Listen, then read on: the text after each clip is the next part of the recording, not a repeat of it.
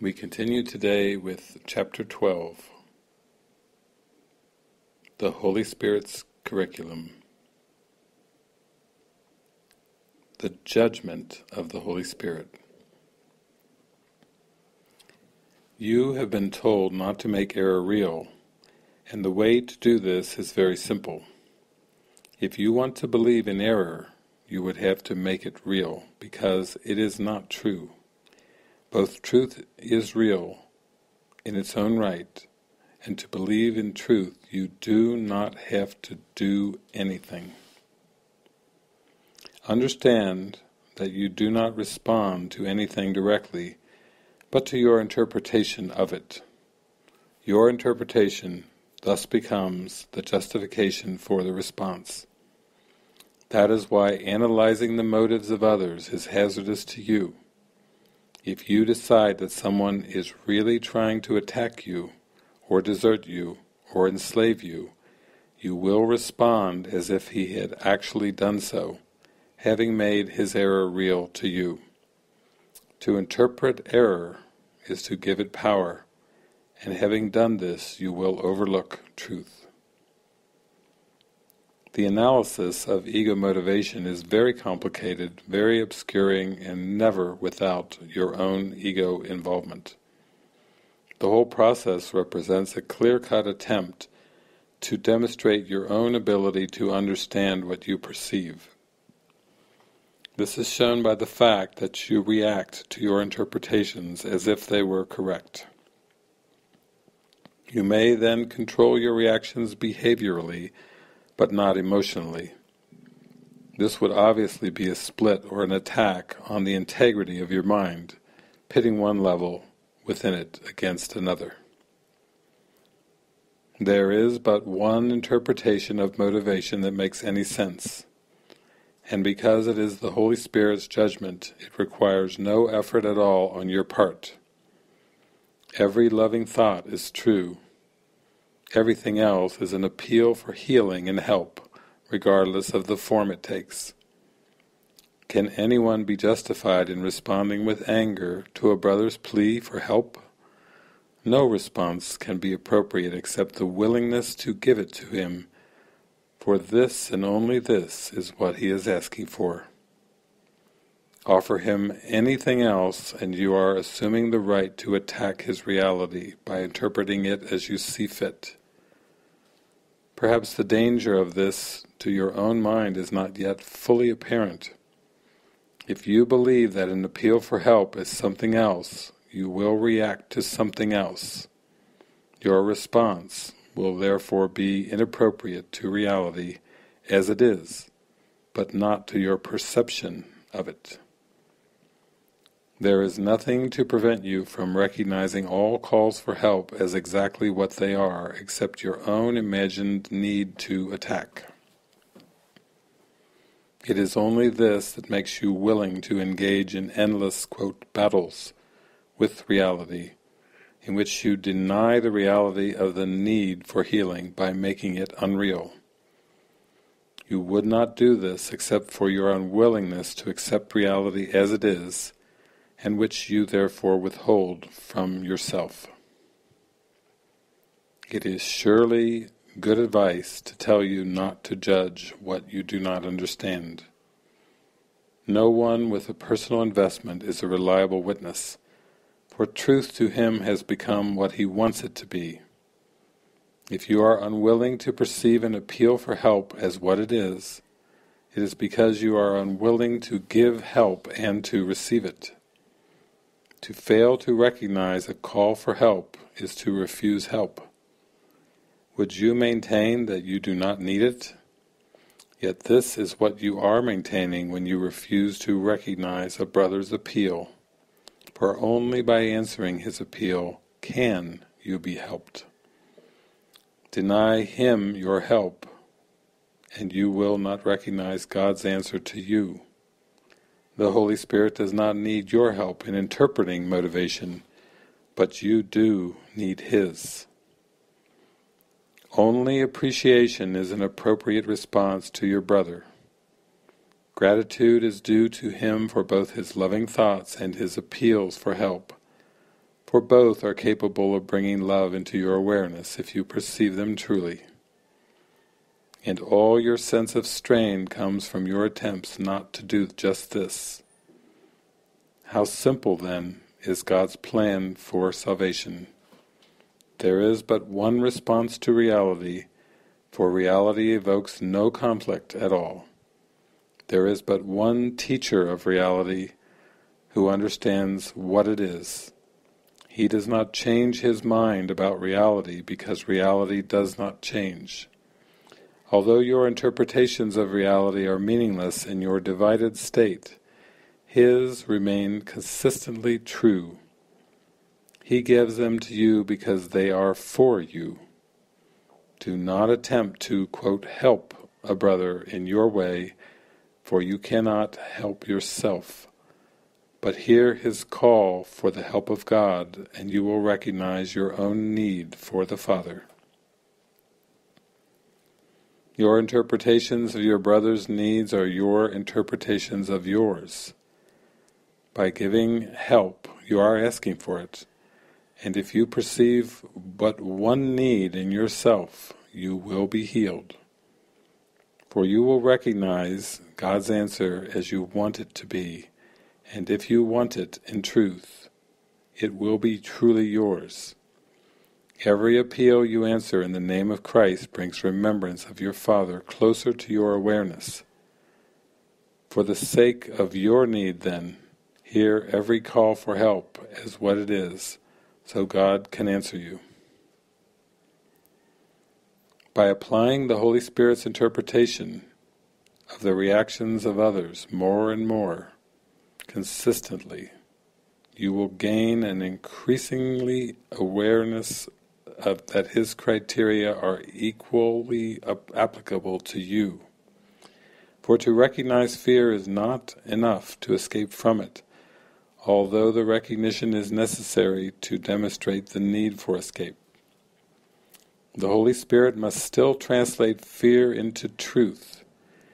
If you were left with the fear, once you had recognized it, you would have taken a step away from reality, not towards it. Yet we have repeatedly emphasized the need to recognize fear and face it without disguise as a crucial step in the undoing of the ego. Consider how well the Holy Spirit's interpretation of the motives of others will serve you then having taught you to accept everything else as an appeal for help, he has taught you that fear itself is an appeal for help. This is what recognizing fear really means. If you do not protect it, he will reinterpret it.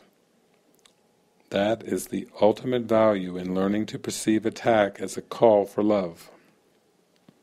We have already learned that fear and attack are inevitably associated, if only attack produces fear, and if you see attack as the call for help that it is, the unreality of fear must dawn on you. For fear is a call for love, in unconscious recognition of what has been denied. Fear is a symptom of your own deep sense of loss. If when you perceive it in others you learn to supply the loss, the basic cause of fear is removed. Thereby you teach yourself that fear does not exist in you. This means of removing it, it is in yourself, and you have demonstrated this by giving it. Fear and love are the only emotions of which you are capable. One is false, for it was made out of denial, and denial depends on the belief in what it is denied for its own existence. By interpreting fear correctly as the positive affirmation of the underlying belief it masks, you are undermining its perceived usefulness by rendering it useless. Defenses that do not work at all are automatically discarded. If you raise what fear conceals to clear-cut unequivocal predominance, fear becomes meaningless. You have denied its power to conceal love, which was its only purpose. The veil that you have drawn across the face of love has disappeared. If you would look upon love, which is the world's reality, how could you do better than to recognize in every defense against it the underlying appeal for it? And how could you better learn of its reality than by answering the appeal for it by giving it? The Holy Spirit's interpretation of fear does dispel it, for the unawareness of error cannot be denied. The awareness of truth cannot be denied. Thus does the Holy Spirit replace the fear with love and translates error into truth. And thus will you learn of Him how to replace your dream of separation with the fact of unity. For the separation is only the denial of union, and correctly interpreted attests to your eternal knowledge that union is true. And from the workbook, Lesson 86. These ideas are for review today. Only God's plan for salvation will work. It is senseless for me to search wildly about for salvation. I have seen it in many people and in many things, but when I reach for it, it was not there. I was mistaken about where it is. I was mistaken about what it is. I will undertake no more idle seeking. Only God's plan for salvation will work and I will rejoice because His plan can never fail. These are some suggested forms for applying this idea specifically. God's plan for salvation will save me from my perception of this. This is no exception in God's plan for my salvation. Let me perceive this only in the light of God's plan for salvation. holding grievances is an attack on God's plan for salvation. Holding grievances is an attempt to prove that God's plan for salvation will not work. Yet only His plan will work. By holding grievances, I am therefore excluding my only hope of salvation from my awareness. I would no longer defeat my own best interest in this insane way. I would accept God's plan for salvation and be happy. Specific applications of this idea might be in these forms. I am choosing between misperception and salvation as I look on this. If I see grounds for grievances in this, I will not see the grounds for my salvation. This calls for salvation not attack. Only God's plan for salvation will work. Holding grievances is an attack on God's plan for salvation.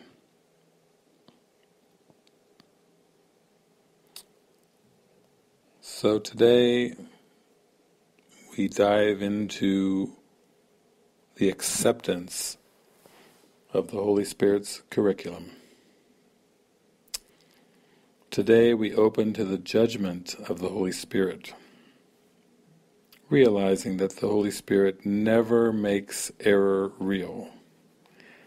The Holy Spirit consistently overlooks error and looks to the light of truth.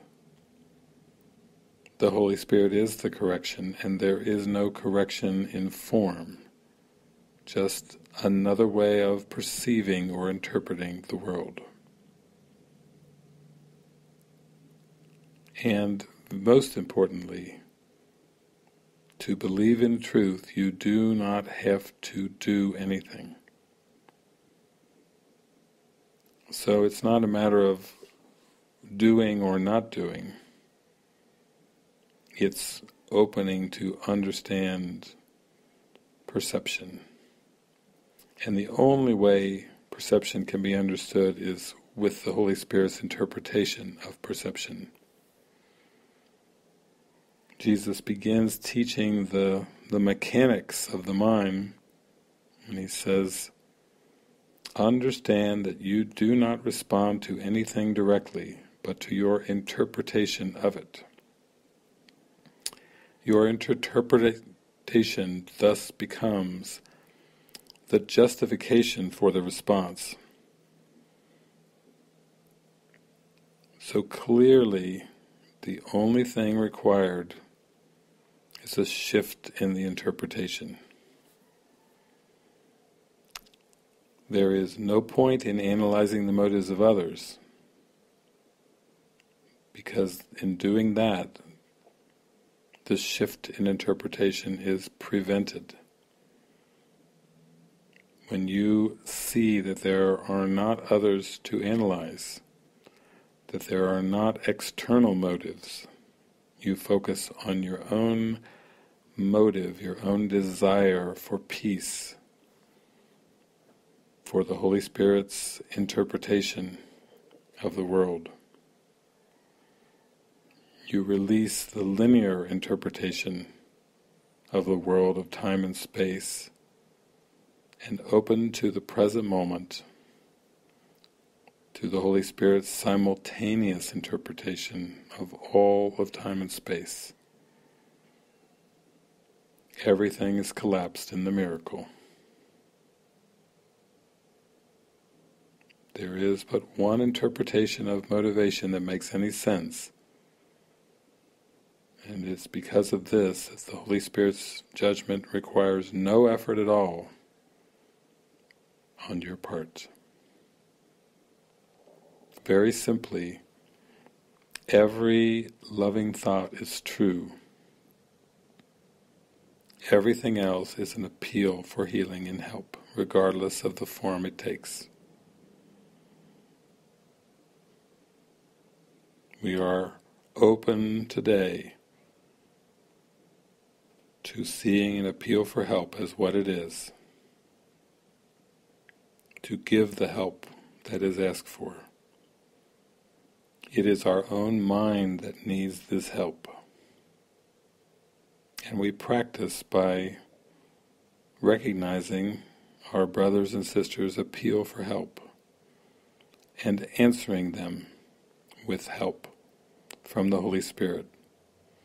And in this way our mind is helped to see its wholeness, its perfection, its completeness. Gratitude. Only appreciation is an appropriate response to our brothers and sisters, both for loving thoughts and for appeals for help for both are capable of bringing love into our awareness if we perceive them truly. So we are seeing that fear itself is an appeal for love. It's an appeal for the love that the fears seem to hide.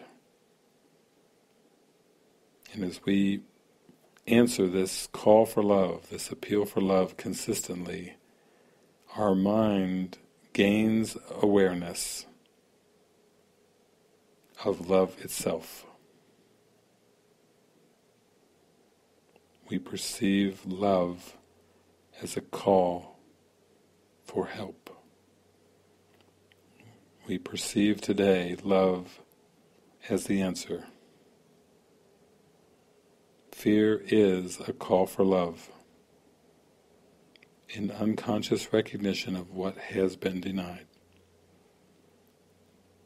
So this is a mechanism for accepting into awareness what was denied from awareness in the separation. This is a way for showing the impossibility of separation in a practical way. Love ye one another as I have loved you. Love thy neighbor as thyself.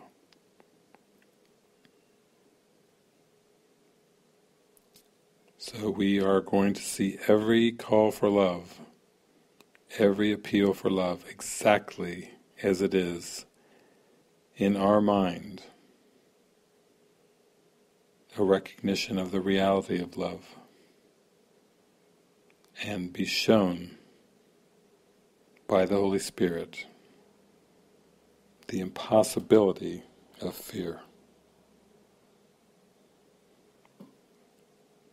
We practice this with our lessons of the day,